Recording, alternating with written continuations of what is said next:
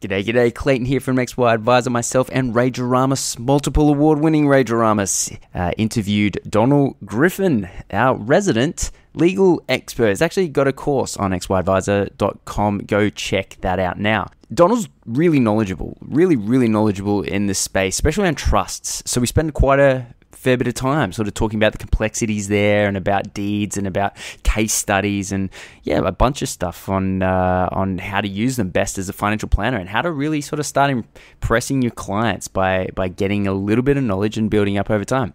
So yeah hopefully you enjoy this episode is proudly sponsored by NetWealth. Launching nearly 20 years ago, this ASX listed company is ranked number one for overall platform functionality and user satisfaction by investment trends for the past three years. As the financial advice landscape changes, it's important now more than ever to embrace new technology and enhance the way you do business. With this change comes your chance to innovate, explore new perspectives, and realize new efficiencies. NetWealth is here to support you on this journey by providing you market leading technology, excellent customer support, and expertise to help you innovate in your business. Visit the NetWealth website to learn more and get the PDS which clients should read before making a decision. Products issued by NetWealth Investments Limited. Does a binding financial agreement help at all for anyone? Wow, straight into the hard questions. Uh, I thought this was a chit chat. Um, look, Clay may or may not be getting married next month. and, and, and, it's my fiance asking me. so this question is loaded. Okay, there, will at least be an audience of one for the answer of this. All right. Well, just between us. Yes. It depends if you have the money or whether you're the person with the money or not. Um, they've dropped the word binding from binding financial agreement, so now they're just called financial agreements, which, which would give you the uh, the sense that maybe they're not uh, 100% binding anymore. They're definitely persuasive and helpful, and they can be binding. What happens is there was a High Court case late last year where one was knocked down uh, and, and found to be not enforceable, and that was because of the circumstances rather than the document. No way, the circumstances of the breakup. Circumstances of the getting the document signed, i.e., right. uh, undue influence. Ah. So if you if you're just too cute about it and just kind of slide it across the table and say, look, just please sign here, it'll all be fine. Um, and there's no genuine negotiation. Mm. Uh, and the other person can always say later on, well, I felt like either I signed it or the marriage was off. Mm. Um, it makes it easy for a lawyer later on to say, well, it sounds like there was undue influence at play. Because the circumstances of the breakup don't come into no well, judgment at all, do they? No, well, it's a it's a no fault system in Australia, which which means that if one person's uh, been playing away or you know being you know obnoxious in one way or the other, it shouldn't affect things. But within the agreement, the agreement it could say, um, you know, if the uh, property settlement and divorce is initiated by one party rather than another, the consequences are ABC. Oh right. So yeah, so, so, so you can actually put fault in a in a in a financial agreement. Essentially, you can yeah you can contract uh, you can yeah contract whatever you want. really, and yes. and and the family court is willing to to look at it quite persuasively. Yeah, look, uh, wh- where they're hard where they're hard to um, hold on to is where circumstances have changed dramatically, and the, the, the most obvious one of those is where you've got two youngish people earning good money. They agree some kind of split, and then fast forward 15 years, one of those people has maybe taken time out of the workforce to look after kids. Yeah.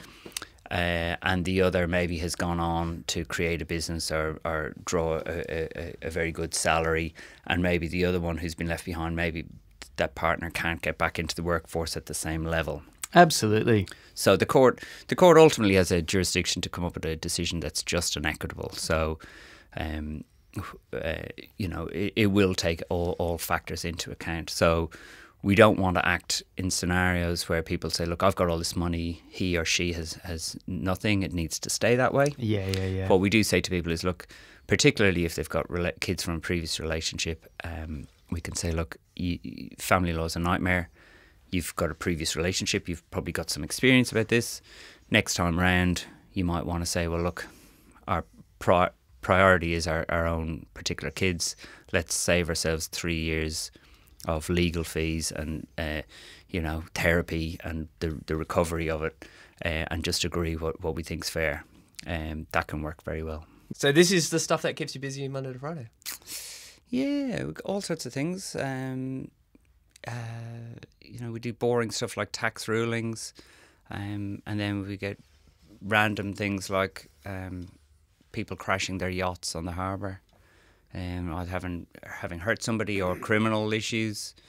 Um, people looking at trust deeds, Mm. uh, and, and for the first time, tweaking them to you know uh, helping a couple with an adoption process. Um, uh, where you normally don't have lawyers and, and adoption agencies just take control of it and they're saying well um, you know what what are our rights uh, and I, you know I didn't know the answer to that but I found out the answer. They were very pleased. They said oh look they've been asking around and and I was literally the only person who was able to answer their question so there's weird weird arse kind of areas um, but look our position is to be the trusted legal advisor to families who are doing interesting things.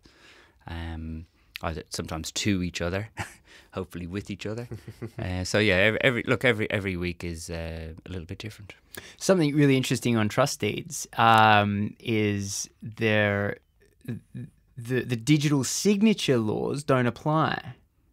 Right, and so I think in the legislation it, it can be written on paper or, or, or leather parchment or some some crazy. I right? love those little legacy yeah, elements yeah. of our law. A- and and yet uh, uh, uh, an uncomfortably high portion of SMSFs have their trust deeds digital. Right. Okay. So now you're left in a situation where your trust deed of your SMSF is dun, dun, dun, dun, invalid. So that that's it's an uncomfortable. Really? tr- you really? Yes. No, no, no. I've like super looked into this. Super, Looked, super looked into. Yeah, you like that? Yeah, yeah. Have, have you? Has anything like that come across your desk? I, I haven't seen that one. Look, there's a very famous uh, trust law case called Kennon and Spry, uh, where uh, Dr. Spry uh, was and is an expert in trust law, and one of the um, uh, positions he took in, in, in, in a very high profile case was that he had an oral trust.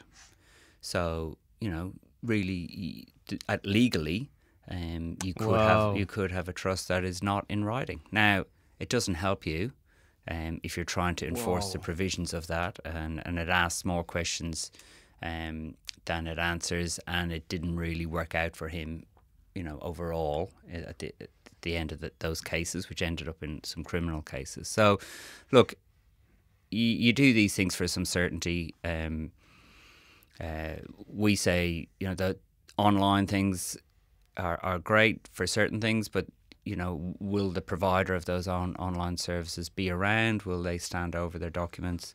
So sometimes old-fashioned schlepping into somebody's office, Yeah. and, you know, taking out the pen.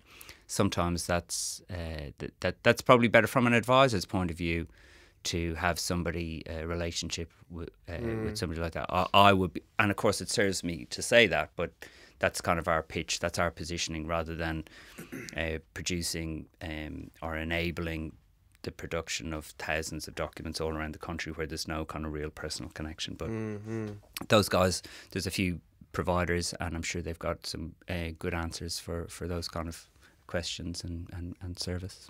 The protection thing's kind of interesting because that falls into uh, a space that we we sort of touch quite a lot as financial advisors. But I I just wonder, and I would suspect that all too often we would see trusts set up where you've got the trustees and the beneficiaries and the settlors and the appointers being the same people the whole way through, which I would suggest kind of destroys the reason why trust exists because we're seeing more and more that you know the the courts are you know cutting through that entity aren't they if, if you- Piercing the veil. That's called? right. Yeah. Good good expression. Yeah. yeah Yeah, we are seeing a lot of that. And look, 95% of uh, cases, um, that's a, a figure I've pulled out of my uh, back pocket. I'd say it's probably higher. Um, have mum and dad, or mum or dad, or whoever is the client, in the key role as appointer, controlling the trustee, and Yeah. as the primary beneficiary. And that's all fine, you know, or at least it was fine. Um, but if you and I appreciate the context of these trusts, people, you know, they, they set them up very quickly. They don't want to spend much money. Um, there's usually a property or something that's far more interesting being acquired, and it's just this is just paperwork.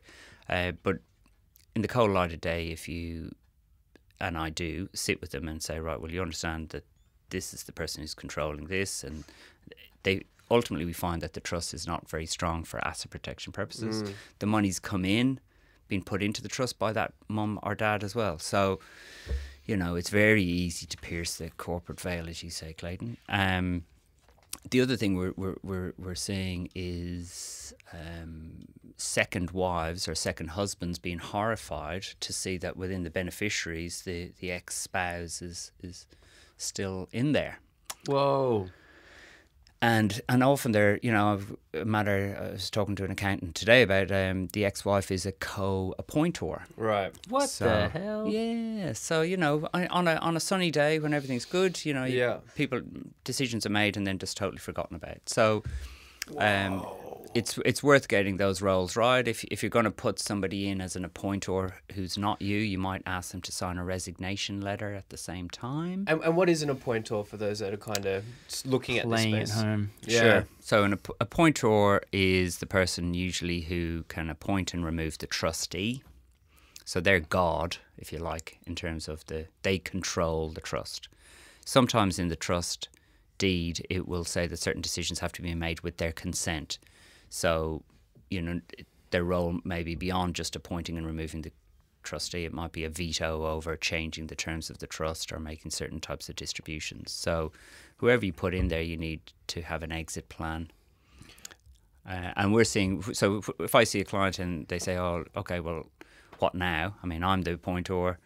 Um, I would say, well, if your kids are over 18, you might want to start appointing them and truly make a family trust an intergenerational structure. Mm. Okay, so the children as the appointor? Yeah. Okay. Yep. Uh, and that's helpful for everybody because then they can say, for you know a, a, long period of time, there's been multiple decision makers in relation to this. Can the appointor not look mm. at the mm. beneficiary as well, or are they kind of fixed? Because I imagine if you're a beneficiary of a trust and a claim's been made against you, then that's kind of the time where you might want to remove yourself from that entity. Yeah, uh, the appointor doesn't usually have a role in terms of beneficiary uh, directly. They do indirectly because usually the trustee will say the trustee can expand or reduce the, the class of beneficiaries. Right. So there's a link. Yeah. So, um, but look, it's a bit late when there's trouble to be removing beneficiaries. It's it's better that it be a clean skin structure. So sometimes with people, I just say, well, look, you can amend it, or you might want to have a new structure um, and put cash into the new structure. So from day one, the cash has come from your wife uh, rather than from you, which is really reasonably easy to, to facilitate. And the wife, for instance, was the appointor.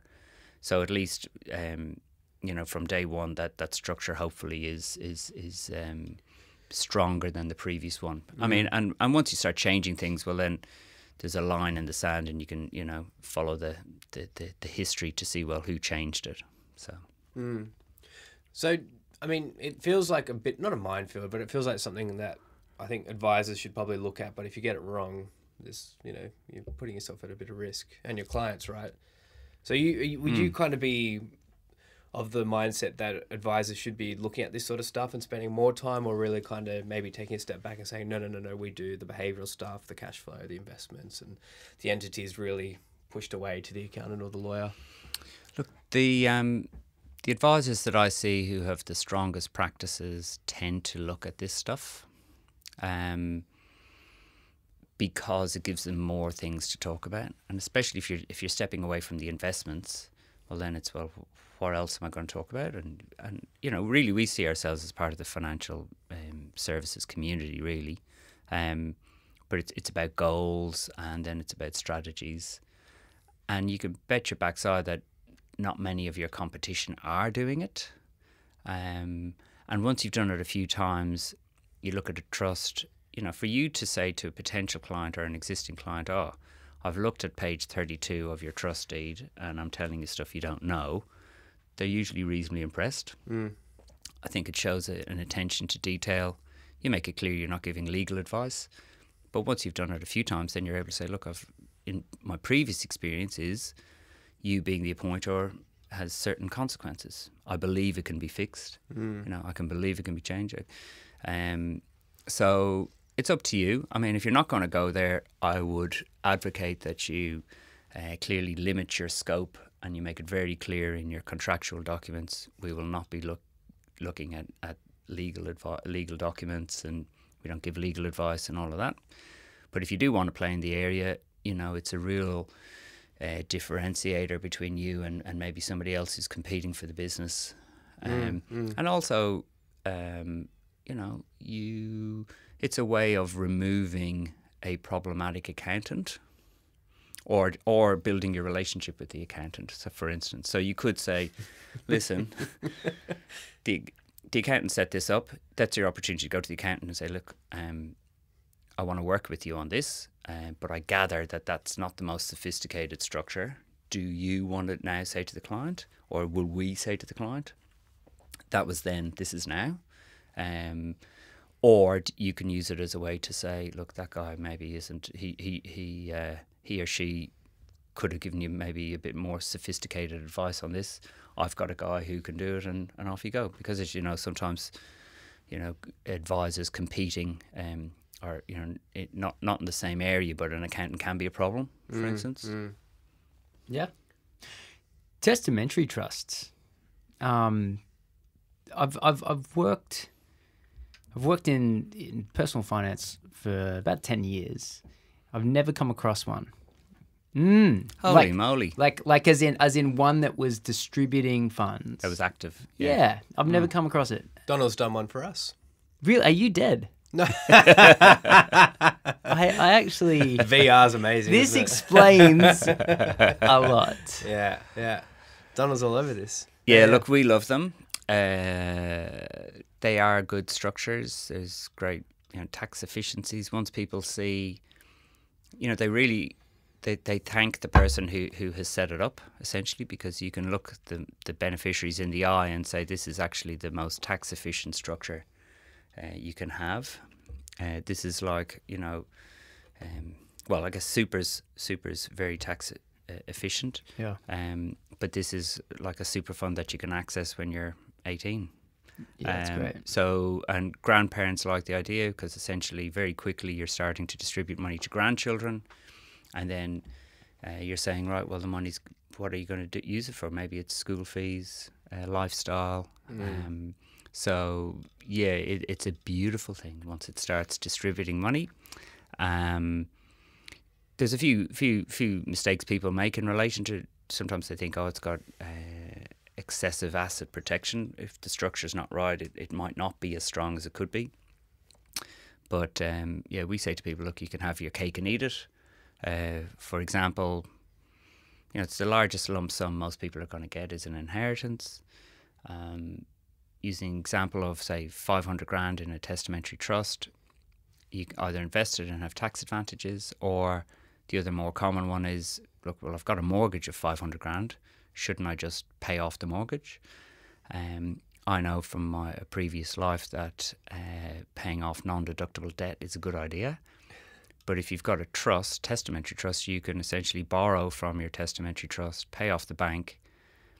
And if a trust is lending 500 grand, it's acting like a bank. So you'd basically just swap the mortgage to the CBA with a mortgage to the trust. Mm-hmm. So essentially, the balance sheet of child is um, real estate, uh, and still they still have a mortgage. And if and at that at that time, they can even negotiate with their spouse and say, "Listen, mum and dad have left me this money. We can pay off uh, the mortgage, but my advice from my advisors is that we do that as a loan." Um, how how does that sound? It'll be interest free.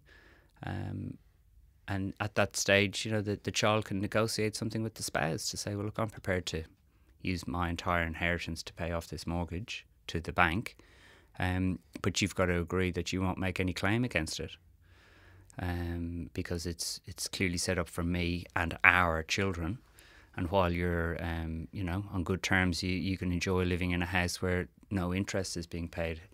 And um, we don't have that fear of the of interest rates going up, etc., etc. So mm. works pretty well. That's it. I think that's exactly why my fiance wants that uh, financial agreement.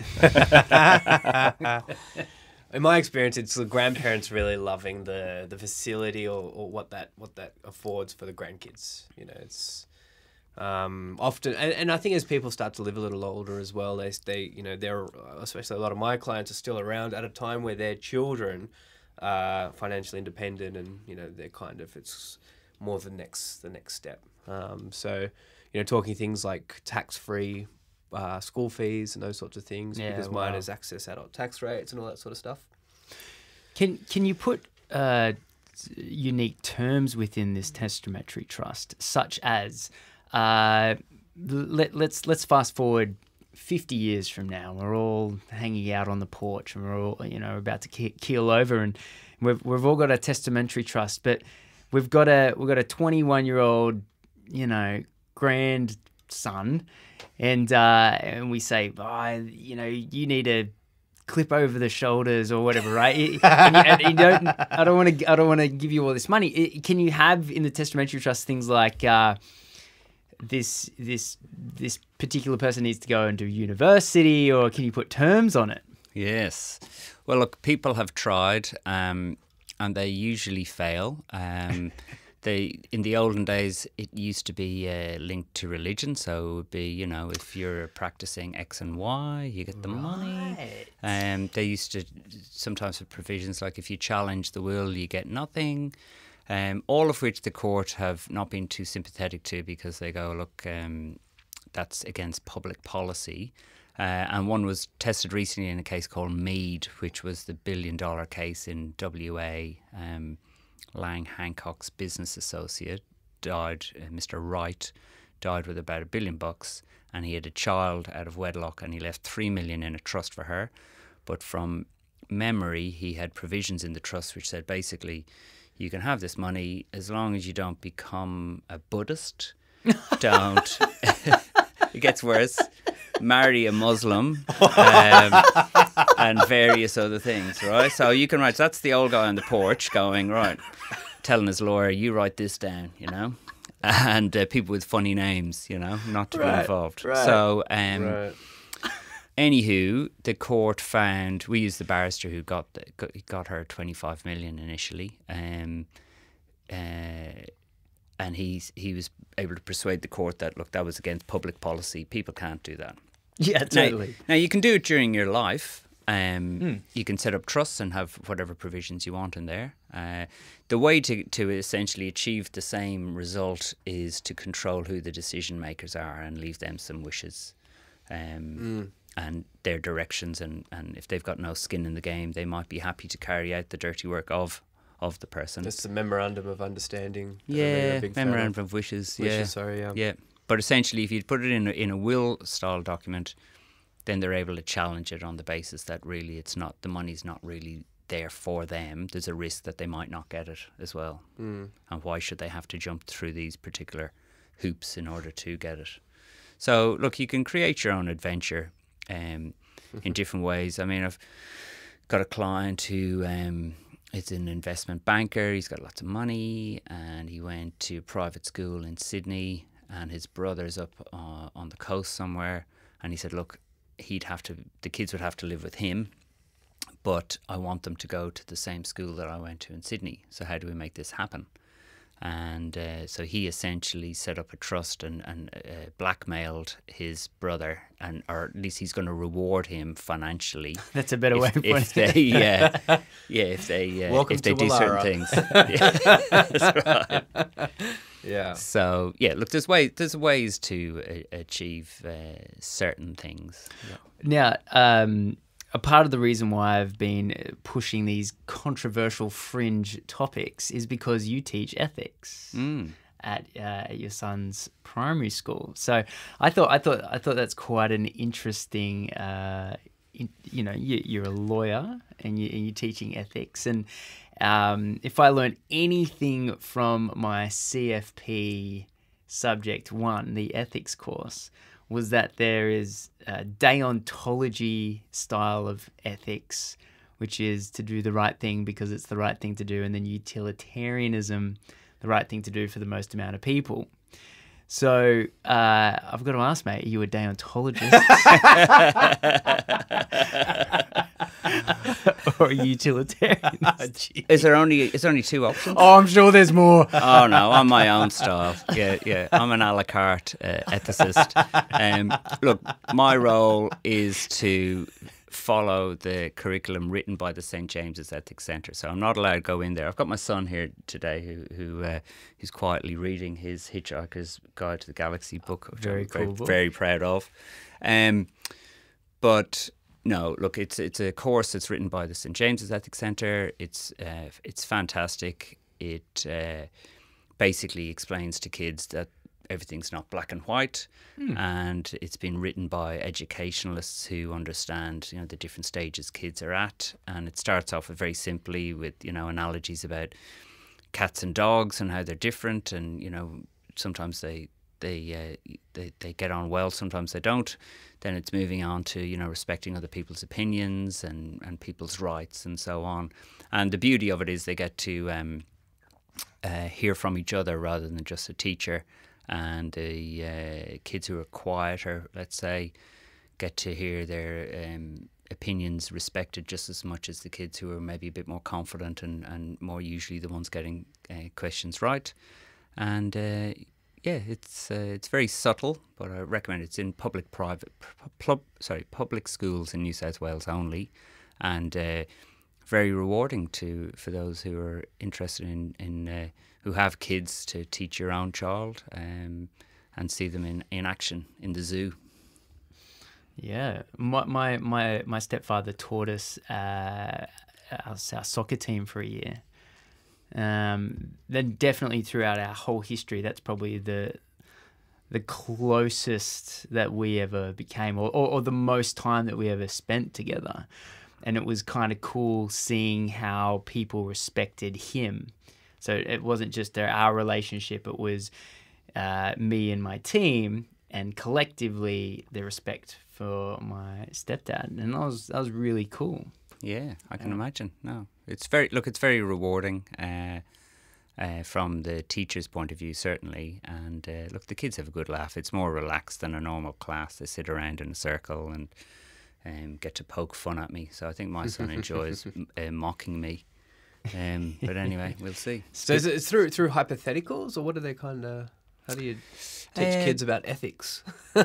Well, there's um, you know often there's a story. Um, recently, uh, there was a story about um, messages, um, the the Delphi Oracle, and uh, Ooh, so- that's that's Spartan, right? yeah, so uh, you know ancient Greece, and you know there was this this person who you know essentially had uh, made statements. Um, Yeah. and whether they were going to be true or not. And then, you know, basically we pointed out that by putting the comma in different places, in, uh, if I say a statement of, of 10 words, I can't remember exactly what it was, but it was something along, along the lines of, um, go. It was a bit like Yoda, you know, go to battle you will, and come back dead.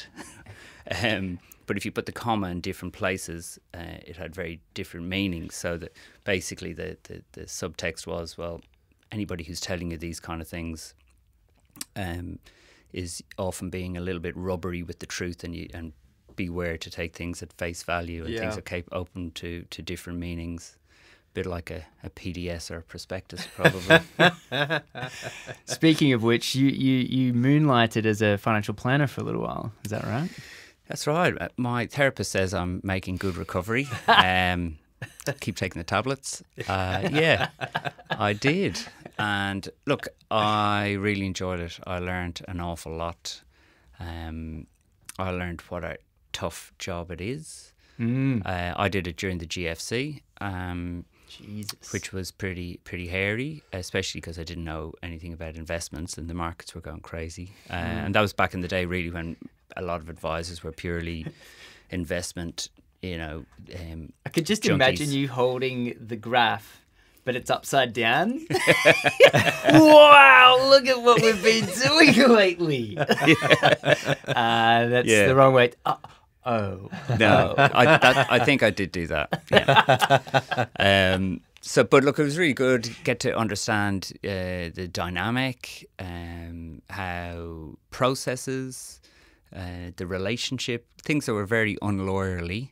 Um, I remember going for a job as a financial planner, and I, uh, I thought I did a good interview, and uh, the recruiter phoned me up afterwards and said, you know, how do you think you went? And I was like, oh yeah, actually pretty good.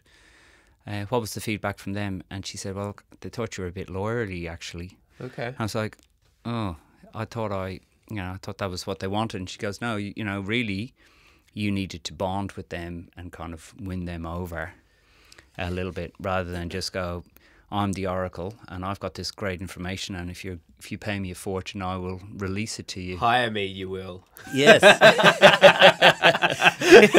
Start instructing on them on where to put the comma. yeah. Clo- close, close the door after you. You will. They said. So, uh, so yeah, that was a very interesting experience for me, and uh, um, yeah, so you know, we bring it a little bit of that into how we practice, and we want to know the big picture. And like I said earlier, you know, really, it's about the goal. So, you know, I can assume that somebody wants one of my lovely documents, but actually, their biggest concern might be to talk about a relationship problem or um, or a business issue or something that you guys will talk to people about. Um, so we're we're just a bit more careful. We try and find out who their advisors are, uh, if they have any. Um, if they don't have them, you know, we say, uh, you might want to get one. Um, particularly accountants, that's a really easy sell. You know, for people who do their own tax returns, I go, uh, Do you see a lot of that?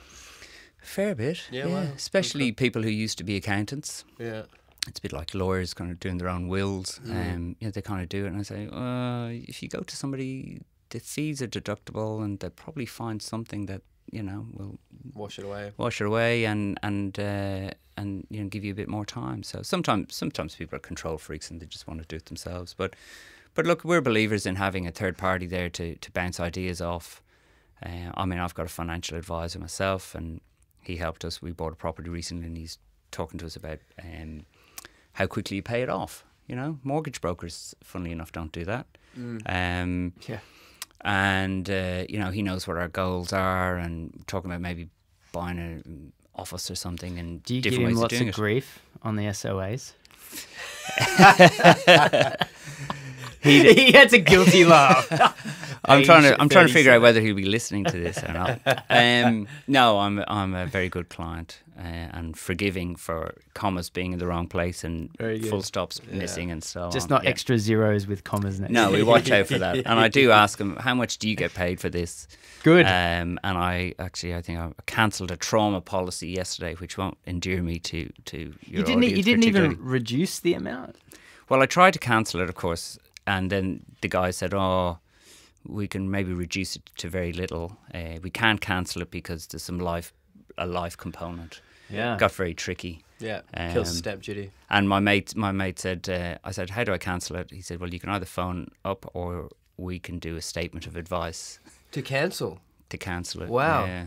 Wow. So, which I think was his subtle way of saying, "Please phone them," and you know, Yeah, yeah, you don't want me to do a bloody statement of advice. That's ridiculous, isn't it? It is. Yeah. See, I, I I never sold much insurance as as an advisor. I, I- wasn't really something that I enjoyed doing. It wasn't part of the job that I liked. But I'm actually a massive believer in it, and I and and I have it. So uh, for you to to be hundred percent out of trauma, that's scary, isn't that scary? Well, the bloody cost was the scary thing, you know. so maybe some of your listeners can can phone in and tell me they got, a, You're gonna get got a great deal. Trauma quotes by the time you check Facebook. You know, thirty. You know, um, what is it? with Quotes. Yeah, there were. I mean, it was it was like a two hundred grand uh, cover, and I think it was going to cost me over two grand. And I was thinking, yeah, you know, I was looking at One my, in a hundred. my, my yeah, exactly. I thought that's a bit cheeky. Give me another zero or something. you Yeah. know? Anyway, we'll see. Hopefully, I'll be touch wood. I'll be self insuring for those kind of things before too long. So Very good. Very good. Well, mate, thank you very much for your time this afternoon.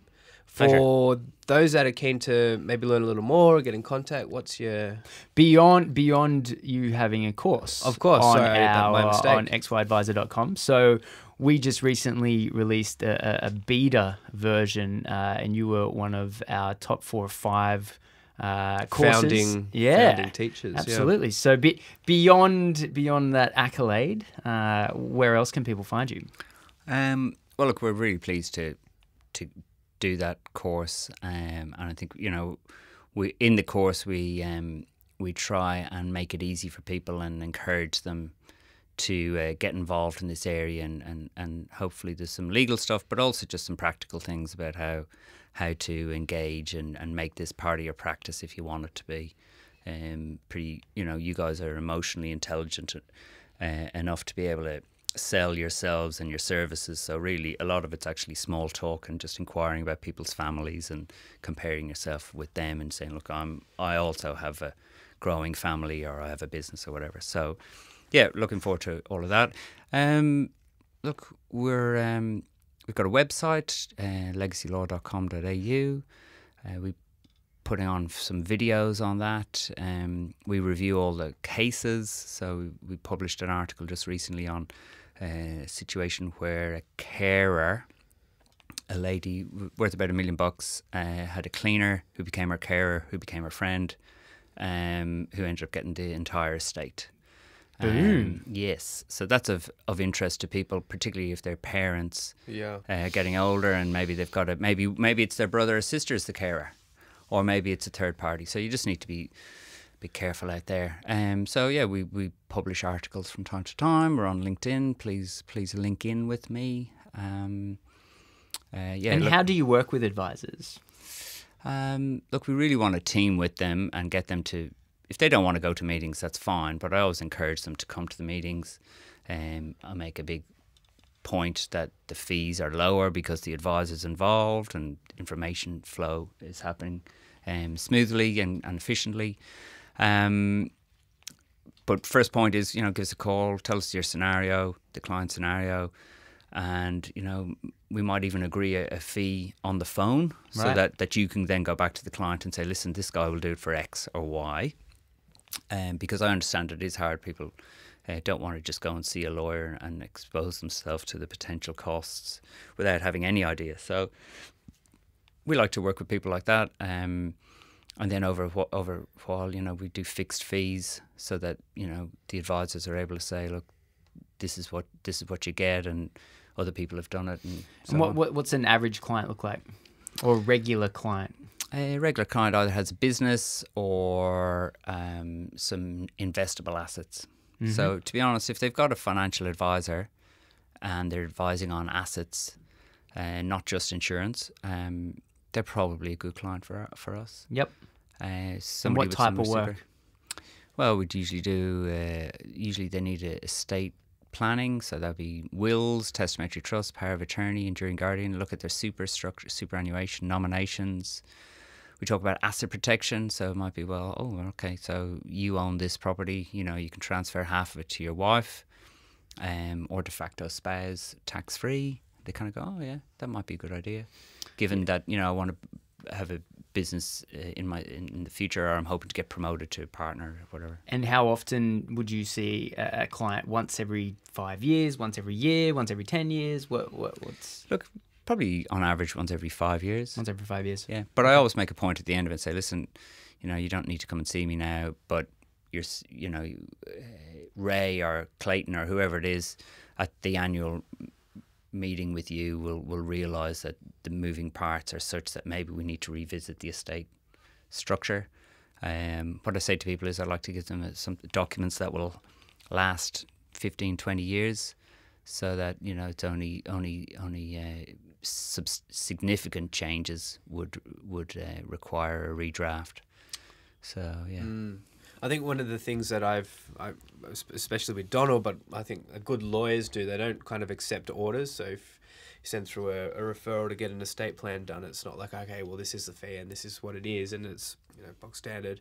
It's kind of like, all right, well, you sit down and Donal will go through a fact find process, ask questions that no one kind of really thought about through different sort of experiences, and then sort of engineer a, a bespoke type of uh, proposal off the back of that. But I think it really bodes well for, for when I've done it in the past on myself, and I'm sure for other advisors when, when you kind of introduce someone into the mix who actually brings a, a different perspective and different ideas like that. The value that that, that comes through, that's you know, very material in my experience. Very good. Well, mate, I'm sure my fiance will be asking for your details within the week. And uh, well, if you're my client, I'll tell her that sorry I can't act for her. But, uh, Smart, diplomatic as well, mate. Thank you very much for coming on. Pleasure. Thanks very much, guys. Thanks, Cheers. Thank you.